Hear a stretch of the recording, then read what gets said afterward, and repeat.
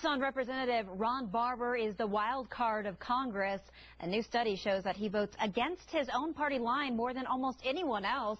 The study found out that out of all the House Democrats, only four other members voted against their party line more than he did. In the votes so far this year, Barber voted against his party line more than twice as much as the average House member. Well, America loves